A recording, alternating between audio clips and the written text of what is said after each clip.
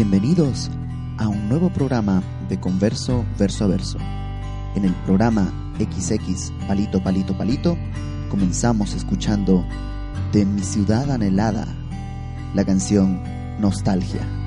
Entre miles de millones has fijado tu mirada en mí.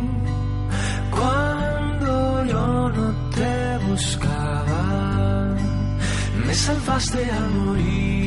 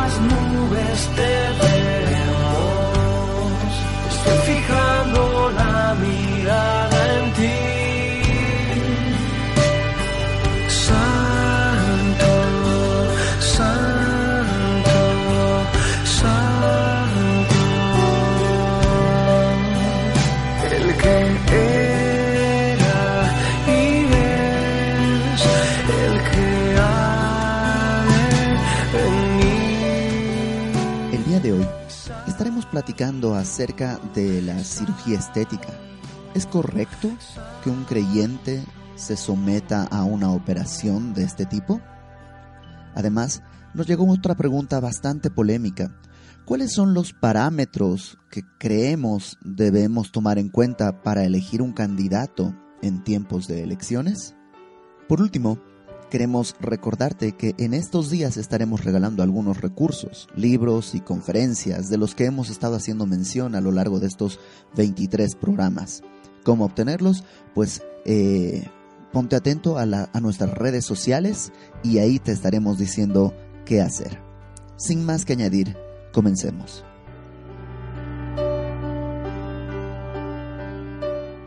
Hola, bienvenidos a un nuevo programa de Converso Verso a Verso. El día de hoy están conmigo César Cárdenas, Hola, ¿cómo están?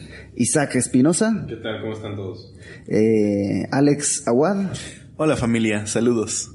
Joel Araón, a- a- Aarón Araoz, Aarón, a- Joel Ese mero. y Dodo Robles. Hola, ¿cómo están? Eh, mi nombre es Ibert Cruz y el día de hoy vamos a comenzar con una pregunta que dice así. ¿Está mal que un cristiano se realice una cirugía estética? ¿Cómo ven? Pues este, eh, pues así como mal, mal, mal, tal, tendríamos que preguntarnos más cositas como para determinar si sí está mal o no. O sea, si es solamente estético la actitud o solamente quiero hacerme una cirugía por solamente verme bien, probablemente sería bueno que revisaras como tu corazón en cuanto a la vanidad, ¿no? En cuanto a si estás teniendo en tu apariencia tu seguridad, ¿no? Más que en Cristo. Eh, pues podría ir, ir por ahí. Empecé medio con tambor batiente en el sentido de si nada más estás buscando verte mejor para tener una apariencia mejor, probablemente tendrías que revisar si tu corazón está confiando en, En tu- eso. en tu exterior, ¿no? Y verse bien no es que esté mal, o sea, nosotros nos peinamos, usamos gel, te arreglas la barba. No es que necesariamente esté mal verse bien, sino o presentable, sino realmente creo que invertir mucho dinero en algo que eh, va a implicar, ah, pues eso, una cirugía, tiempo, muchas otras cosas, pues creo que no es la ¿y- mejor inversión. ¿Qué tal que es alguien que tiene mucho dinero y mucho tiempo? Eh, ¿Estaría mal? O Bueno, sea, un- una persona de la farándula que Claro. tiene puede tomarse un año sabático sin ningún problema, que tiene el dinero necesario, estaría ahí no, hay- no, no están estos factores. Eh, Claro, a, a lo mejor no me refiero tanto a que pierdas mucho dinero, sino a que puedas invertirlo en algo que sea mucho Mm, mejor, ¿no? O sea, digamos que a lo mejor sí tienes el dinero, pero creo que puede ser un dinero que puedes invertir a lo mejor en un viaje con tu familia o en es alguien que no tiene familia. O bueno, eh, don- donarlo en la iglesia a alguien que necesite una cirugía. Alguien que no tiene iglesia. exacto, exacto.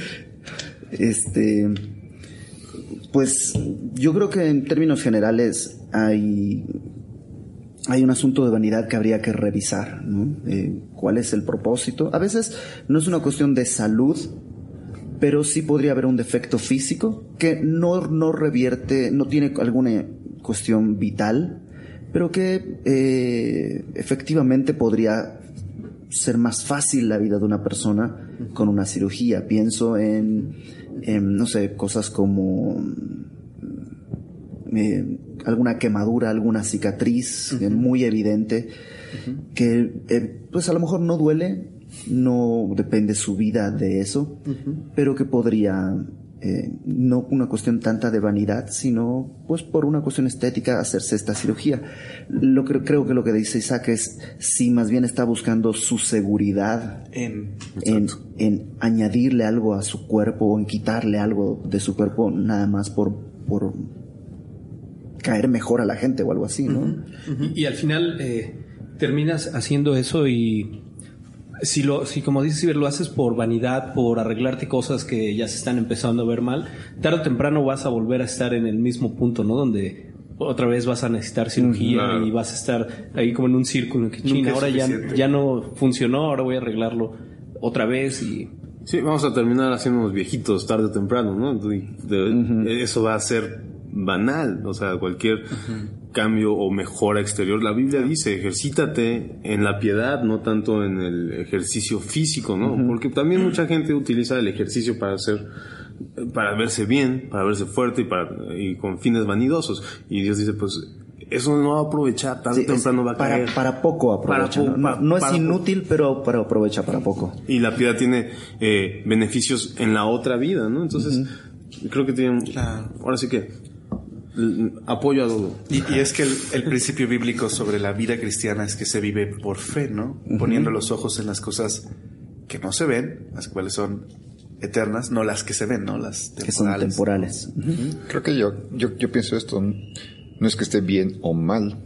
O sea, puede, podemos encontrar situaciones en las que es conveniente inclusive, ¿verdad? Es, es, creo que tiene que ver, lo que hemos estado diciendo es, cu- cae en tu corazón. O sea, ¿Cuál es la motivación? ¿Cuál es lo, lo, lo que buscas? Ahora sí es por salud que a lo mejor tengas que no puedes respirar bien y tienes que operarte la nariz o una Porque desde cuestión de chiquito un- te caíste. se- Exacto, ese es mi caso. y a los 20 años ya necesitas Sí, o, arreglarte. o- o una cuestión en el labio, como dices, algo que sucedió en, ¿no? Eh, incluso de nacimiento, pues tienes que operarte, ¿no? No, no, no. Siempre está esa, esa idea, ¿no? De... eh, bueno, ya no sé si...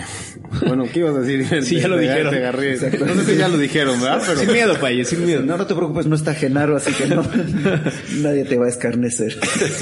Creo que el punto es eh, el in- tu motivación.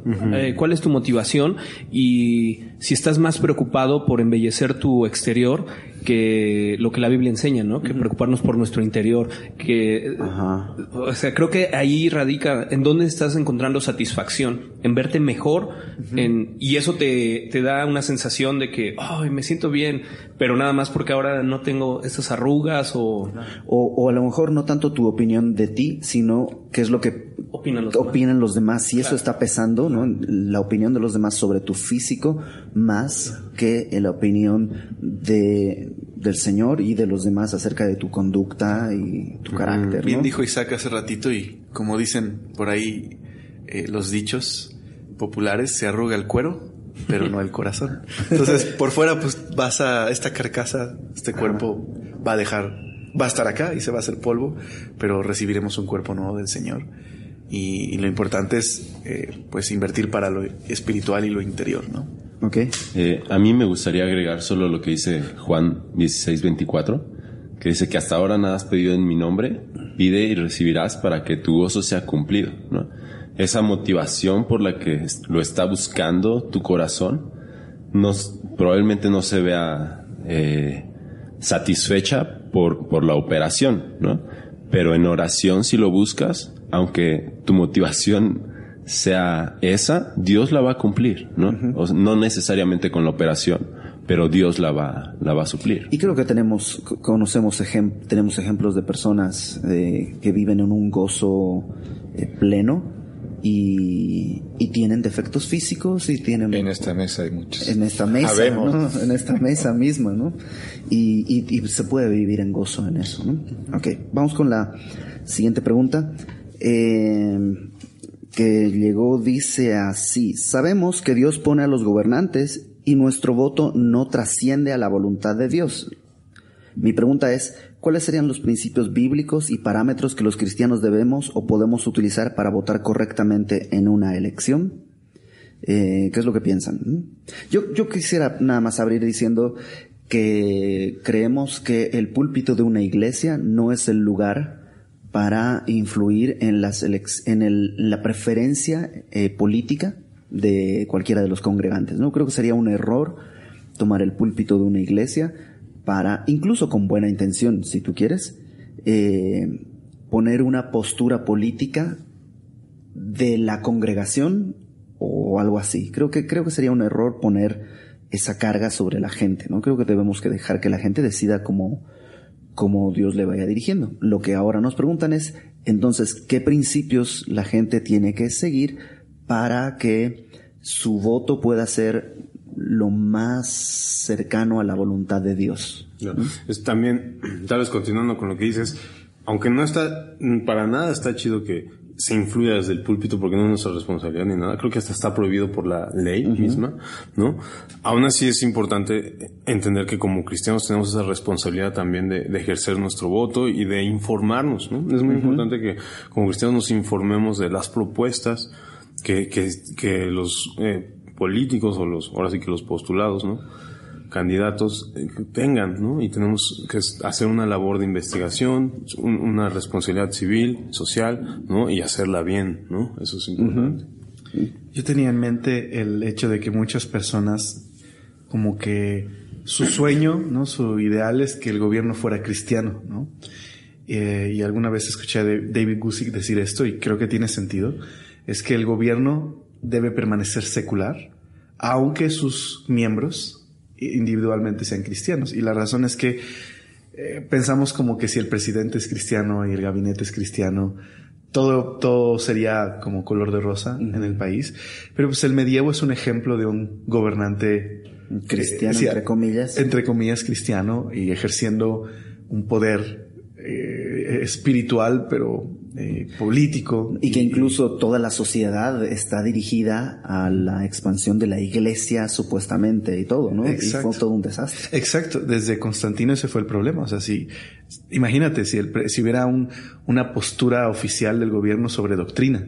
Esta Ajá, es la doctrina sí. que tienen que obedecer, o esta otra doctrina. Y eso sucedió en, en, en, ese, en esos periodos a partir de Constantino. Entonces, creo más bien, o, o como yo lo haría en lo personal, trataría de quizás votar, y solo es una opinión, puedo equivocarme fácilmente, eh, quizás el partido más conservador o que más valores religiosos o uh -huh. cristianos conserve, ¿no? Que dé más oportunidad a la predicación, quizás, más apertura. Yo, yo creo que tendríamos que eh, aceptar que no importa el gobierno que tengamos, del partido que sea, o el candidato que sea, nuestra esperanza no está en su buena o en su mala labor. ¿no? Nuestra esperanza está en que el Señor es quien tiene todo bajo control. Él es nuestro proveedor. Él es nuestra, nuestra roca fuerte. Él, él es eh, quien nos tiene que dar esa seguridad y esa certeza. Y eh, eh, los que están postulándose, híjole, a lo mejor soy muy pesimista, ¿no? Pero yo no, por lo menos no conozco, no tengo la certeza tampoco, ¿no? Pero de que haya algún candidato que moralmente me convenza, no, no, no recuerdo por lo menos en, en, haber conocido algún candidato que moralmente a mí me haga tener la certeza de, mira, no, este parece que sí, este, este no roba, o este, este es el bueno. Este no engaña a su esposa, este ah. no... Pero bueno, ahí hay un principio, lo que estás diciendo es un principio para votar, ¿no? Es... Pero, pero por ejemplo, a lo mejor si, si, si yo no voto en México, ¿no? Uh -huh. yo, eh, por eso puedo hablar esto, porque eh, a lo mejor alguien con mi postura diría, ah, entonces no voy a votar. y creo que sería un error no ejercer tu obligación como ciudadano de ir y votar, ¿no? ¿Tú qué dices, César? También eso. Está bien, e- e- eso está bien. Sí, Creo estoy que- pensando en gobiernos, pero dale todo. Creo que, como dices, es, es nuestro deber, es nuestra responsabilidad votar. A mí, a mí me pasó en la, hace, no sé, dos elecciones tal vez. ¿Por quién votaste? No, no es cierto. Y yo trataba de pensar qué, qué candidato o qué partido tal vez se, aunque en mi, en- no sé, mi preferencia eh, iba hacia otro partido, pero decía, bueno, por lo menos este partido promueve ciertos principios y ciertos valores cristianos. Y siempre entraba, como tú dices, no había algo que dijera, eh, no, sí, es que eh, vamos a votar por él. Pero creo que de alguna manera es pensar un poco qué, qué se acerca más a los valores cristianos, a los principios bíblicos. O sea, si hay un partido, eh, y esto en mi caso, ¿no? Y, y es difícil, nada, no quiero como hablar y como ni mencionar colores ni nada, eh, como marcando una tendencia, pero si de repente hay un partido que a lo mejor simpatizo mucho, pero están promoviendo cosas que a la luz de la palabra son, o sea, son, los valores bíblicos son contrarios, como aborto, matrimonio homosexual o cosas así, eh, entre homosexuales, yo no, no votaría por ese partido, por ejemplo, ¿no? Y no sé, siento que son cosas como en las que yo me basaría para tomar una decisión. Y, y creo, además, creo porque hay varias cosas que salen de esto, ¿no? Y que sucedieron en las elecciones, estas últimas y en las anteriores también.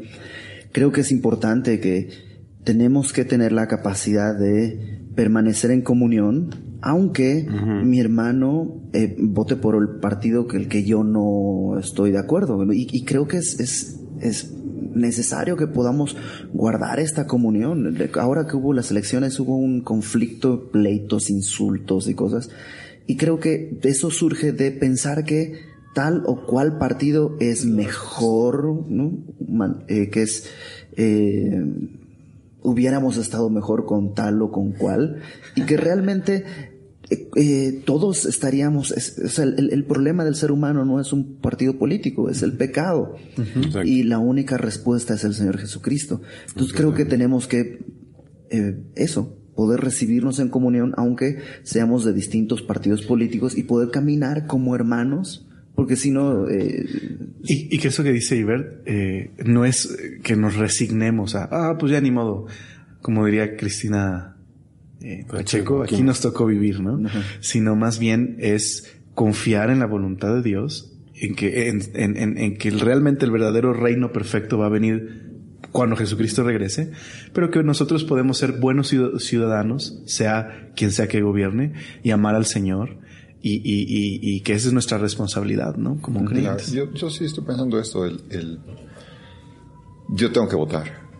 En México es algo que tengo que hacer y, y- y lo tengo que hacer. La pregunta era, o sea, bueno, ¿qué criterio, qué parámetros, qué hago yo para decidir por quién? Y, y- y definitivamente yo no, no estaría buscando quizás la, la persona. Todos van a fallar, todos van a... Es, es típico que, que un presidente que gane las elecciones al final, en su periodo de, re- de presidencial, empiezan a bajar sus, su rating. su rating y, y- y siempre digo, es, es histórico, se repite, es como cada mundial, ¿no? Y pensamos que México ahora sí va a pasar al quinto partido y no. No digo que nunca vaya a pasar, pero, pero es, es algo así. No, no ¿Eres es- holandés, César? Ah, no fue penal. estaba leyendo, o sea, estaba pensando ahorita en los reyes, el, el periodo de, de, de, de monarquía en, en, en la nación de Israel. Es decir, el primer rey fue elegido por, por el pueblo. Y por su apariencia, era el que le sacaba la cabeza a todos y, y- y también inmediatamente su rating, es decir, su rating ante el Señor empezó a bajar, bajar, bajar, bajar, bajar, bajar. el, el- es decir, como que Dios es el que lo, lo decíamos aquí, no sé quién lo dijo al principio, él, él pone, ¿verdad? Los- los- las autoridades son puestas por él. Entonces yo por un lado sí tengo que votar y creo que tengo que buscar al Señor para que me ayude a saber por cual. No pensando en el que yo elija va a ser ese, es decir, por el que ni siquiera el que resulte electo, ese es el, el que va a resolver los problemas de este mundo que va en picada, de todas maneras. Es decir, no importa qué presidente o qué gobernador o qué Partido. jefe- así es, qué partido, qué, qué persona, a final de cuentas, va a venir el anticristo también un día. Eso no lo va a evitar.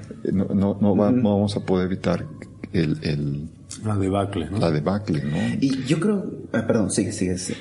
Leía aquí en Eclesiastés, en el capítulo 4, en el verso 13, dice, mejor es el muchacho pobre y sabio que el rey viejo y necio que no admite consejos, porque de la cárcel salió para reinar, aunque en su reino nació pobre. Vi a todos los que viven debajo del sol caminando con el muchacho sucesor, que estará en lugar de aquel. Chavito parece que él sí va a ser el, El bueno. bueno. Y dice finalmente, no tenía fin la muchedumbre del pueblo que le seguía.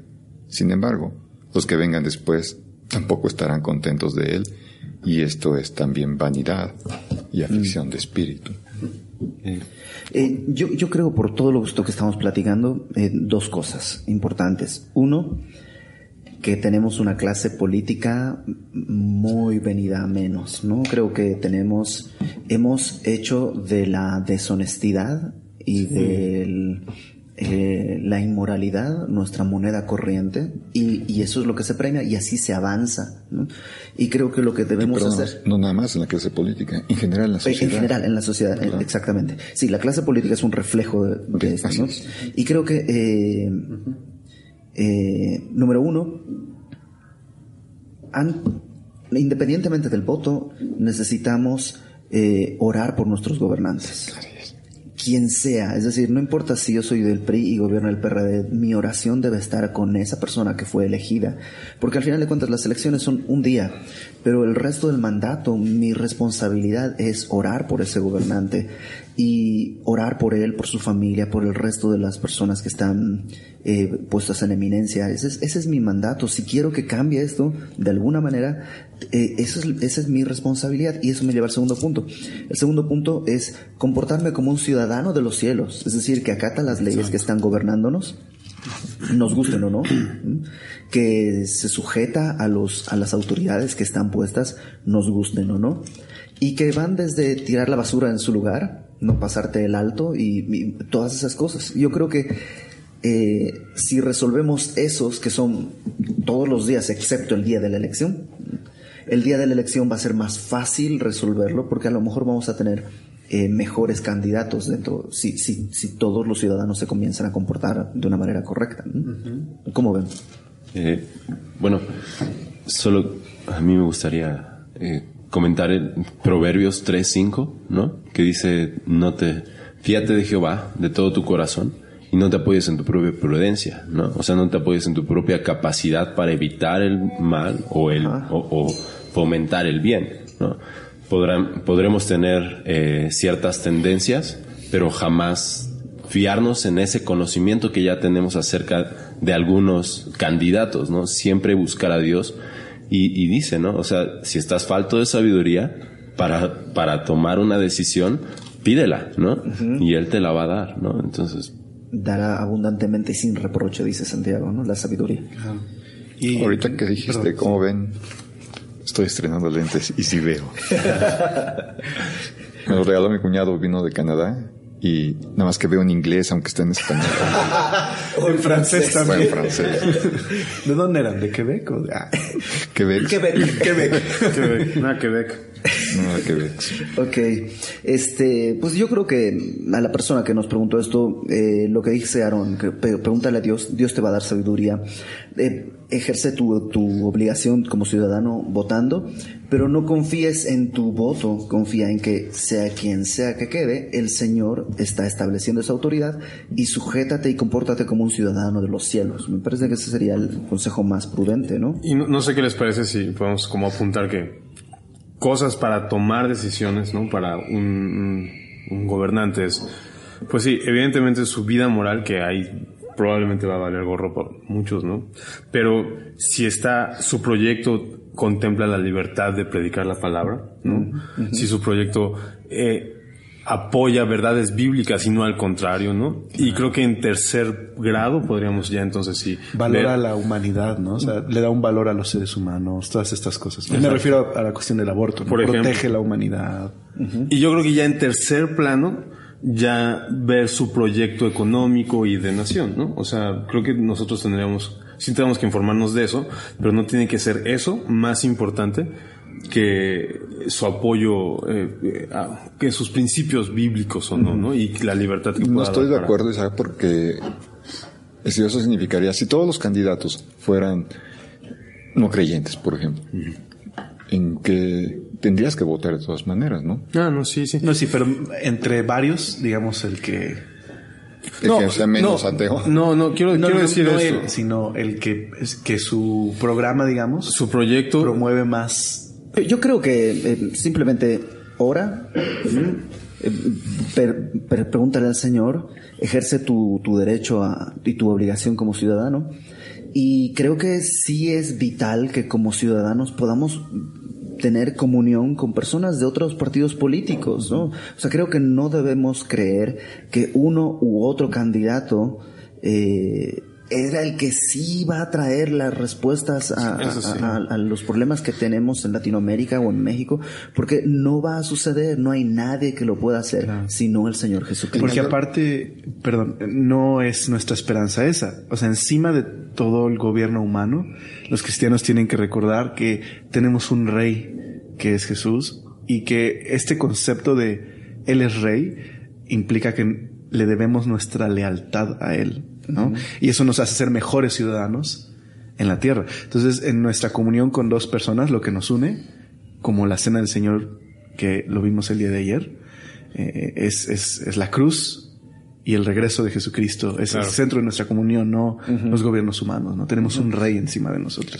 Los gobernantes no, no van a resolver el mayor problema del ser humano, que es el pecado. No, no, no vamos a esperar. Es- Va a haber otro tipo de cosas, van a gobernar. No necesariamente el gobernar tampoco implica fuerza, está resolviendo situaciones. Hay otras cosas que tienen que ver con gobierno. Y no te esperes a, a que sea presidente para orar por él, ¿no? Puedes orar Claro, desde sí, la que Biblia está dice que ore por las autoridades. ¿Eh? La Exacto. Biblia dice Pero dice, por todos los que están en, emine- en eminencia. y ¿no? por todos los hombres. Entonces, tam- ora por ti, ora por, por supuesto por el presidente, pero ora también por los candidatos, ¿no? Desde que se están postulando. Eh, Dios tiene este deseo que vivamos quieta, que vivamos reposadamente, que vivamos en piedad y que vivamos en honestidad. ¿no? Estas cuatro características son las que buscamos en un candidato para poder votar por él, ¿no? Pero las obtienes orando, ¿no? Entonces, desde que se están postulando, empieza a orar por ellos. Y, y permanecer orando el tiempo que estén en el gobierno, ¿no? sean o no de mi filiación política. Ok, pues eh, yo propongo que votemos si es que vamos a terminar aquí el, el- el- el programa, a ver qué dicen. Le- A ver, El ¿qué- voto secreto. El voto secreto. El voto secreto. No, híjole. el- bueno, Lástima que no Levante estuvo la mano hoy con nosotros el político predicador Genaro. Ah, Genaro, Genaro hubiera hecho un- una buena labor. Una buena labor. Un debate. Ahí están los chicharrines. Este, eh, pues ¿A poco ya pasó el tiempo así tan rápido? ya. Simplemente creo que tenemos que ejercer nuestro derecho y ejercer la fe en nuestro Señor Jesucristo. Por Exacto. lo demás, pues eh, po- procedamos a despedirnos.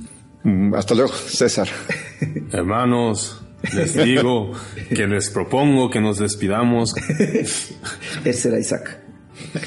Axel, No sé si me estoy despidiendo como dijeron hace ratito, pero adiós, los queremos. Sí, yo tampoco sé, pero adiós. Pues yo tampoco. yo soy Dodo y hasta la próxima. ok. Este, pues bueno, ya que todos se despidieron tan bien, pues nos vemos en la próxima. Estén atentos porque estamos regalando algunas cosas a través de nuestras redes y, y ya. Adiós. Adiós. adiós.